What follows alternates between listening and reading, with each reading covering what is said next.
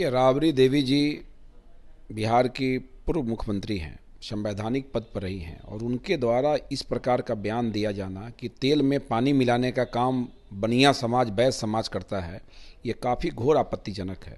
और इसकी इनके विरुद्ध में आज साढ़े बारह बजे से आयकर गोलंबर पटना में हम लोगों ने राबड़ी देवी जी का धर, पुतला दहन का कार्यक्रम रखा है और अखिल भारतीय बैस महासम्मेलन के हम प्रदेश के अध्यक्ष हैं और हम लोगों ने निर्णय किया है कि पूरे बिहार में कल संध्या सभी जिला मुख्यालयों पर राबड़ी देवी का पुतला दहन किया जाएगा। नमस्कार, आप देख रहे हैं न्यूज़ फोर नेशन। मैं आपके साथ अभिजीत सिंह, केंद्रीय गृह मंत्री अमित शाह बिहार दौरे पाए थे और उन्होंने नीतीश और लालू की जो जोड़ी को बताया था कि तेल और पानी की जैसा इन दोनों की जोड़ी है, जो कभी एक नहीं हो सकते हैं। जिसके बाद बिहार के पूर्व मुख्यमंत्री राबड़ी देवी ने साफ़ तौर पर कहा है कि जो अमित शाह बोल कर गए हैं तेल और पानी को मिलावट को लेकर तो उन्होंने कहा कि ये बनिया का काम है।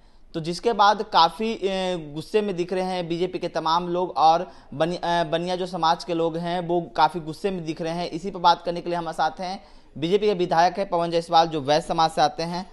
सर कैसे देख रहे हैं राबड़ी देवी के इस बयान को? और आप लोगों ने कहा था कि 24 घंटे में माफ़ी मांगे जिसके बाद भी अभी तक कुछ ऐसा सुझाव नहीं आया देखिए राबड़ी देवी जी बिहार की पूर्व मुख्यमंत्री हैं। संवैधानिक पद पर रही हैं और उनके द्वारा इस प्रकार का बयान दिया जाना कि तेल में पानी मिलाने का काम बनिया समाज, बैस समाज करता है, ये काफ़ी घोर आपत्तिजनक है। और इसकी जितनी निंदा की जाए कम है, बैस समाज को अपमानित करने वाला इस बयान के, को वापस लेने के लिए और माफ़ी मांगने के लिए हम लोगों ने राबड़ी देवी जी को 24 घंटे का समय दिया था अखिल भारतीय बैस महासम्मेलन के द्वारा। लेकिन अभी तक उन्होंने इस पर कोई संज्ञान नहीं लिया है।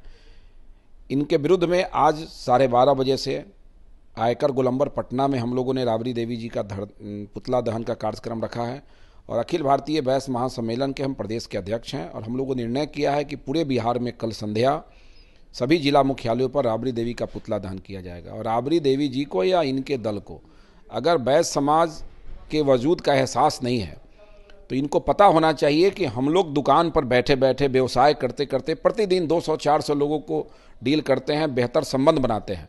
तो हम वोट बनाने का भी हाल जानते हैं और बिगाड़ने का भी हाल जानते हैं। अगर ये माफ़ी नहीं मांगी तो आने वाले विधानसभा और लोकसभा चुनाव में बैस समाज के लोग राबरी देवी जी को और इनके दल को इनका वजूद अपने वजूद का एहसास हम लोग इनको करा देंगे। यानी कि उनको माफ़ी मांगना पड़ेगा कि अमित शाह को पड़ेगा ही पड़ेगा नहीं करेंगे तो बैस समाज के लोग सड़क पे आएँगे और इनको हम लोग अपने वजूद का एहसास करा देंगे। किसी भी समाज के विरुद्ध इस प्रकार का बयान देना मिलावटी कह देना ये घोर निंदाजनक चीज़ है।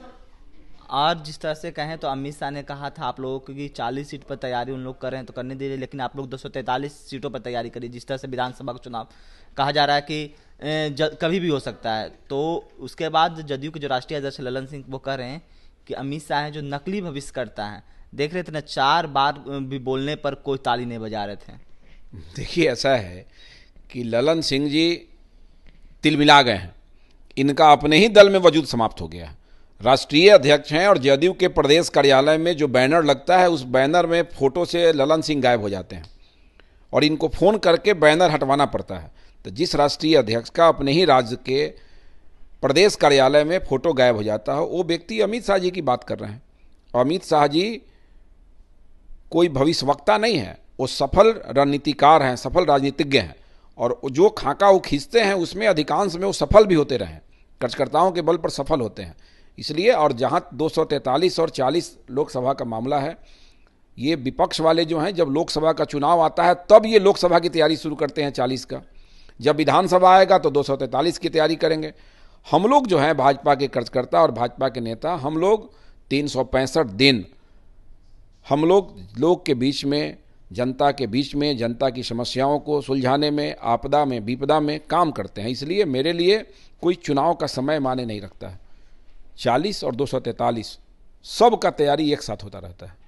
जिस तरह से अमित शाह ने बयान दिया था बिहार में आकर उस पर मुख्यमंत्री नीतीश कुमार ने कहा कि इन लोग को बोलने दीजिए इन लोग पर हम ध्यान नहीं देते हैं इन लोग घबराए हुए हैं।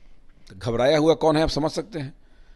भाई, नेता का तो काम ही है कि जब कोई बयान दे तो आप उसमें से निकालिए कि उसके द्वारा कहा हुआ चीज़ कितना सही है, कितना गलत है। हो सकता है कि आप ही कोई ऐसा सुझाव हमको दे जिसको हम मान लें तो हमारी उन्नति हो जाए, देश की उन्नति हो जाए। ध्यान इसलिए नहीं देते हैं कि घबरा जाते हैं। अमित शाह जी के आने से ही लोग बेचैन हो जाते हैं कि अमित शाह आ रहे हैं, अब क्या पता क्या होगा। भीड़ देख के और बेचैन हो गए। तो ये बेचैन आत्मा है ये लोग। ध्यान क्या देंगे? ये तो नीतीश कुमार बोल रहे हैं उलूल जुलूल आप लोग बोलते हैं कुछ भी तथ्य के बात नहीं नीतीश जी का ध्यान बिहार से भटक गया है।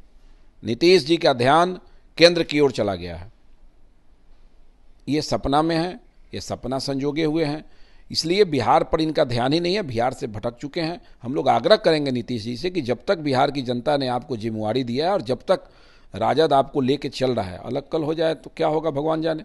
लेकिन जब तक लेके चल रहा है, तब तक अपना ध्यान आप विशेष करके बिहार पर केंद्रित कीजिए, यहाँ के बेरोजगारों पर केंद्रित कीजिए, यहाँ की समस्याओं के समाधान पर केंद्रित कीजिए, यहाँ के शिक्षा व्यवस्था पर कीजिए, यहाँ की स्वास्थ्य व्यवस्था पर कीजिए।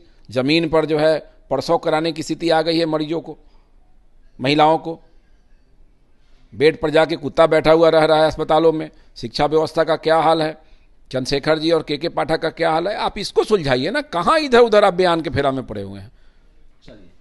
ये थे हमारे साथ बीजेपी के विधायक पवन जायसवाल और ये वैध समाज से आते हैं। जिस तरह से राबड़ी देवी ने जो बयान दिया है, जिसको लेकर आज पटना के जो इनकम टैक्स गोलंबर पर हैं, वो पुतला दहन करेंगे राबड़ी देवी के। और इनका साफ़ तौर पर कहना है कि जब तक अगर माफ़ी नहीं मांगेंगे तो आने वाले चुनाव में आपको सबक सिखा दिया जाएगा। इस तमाम खबरों को बना रहे न्यूज़ फाउंडेशन के साथ। नमस्कार।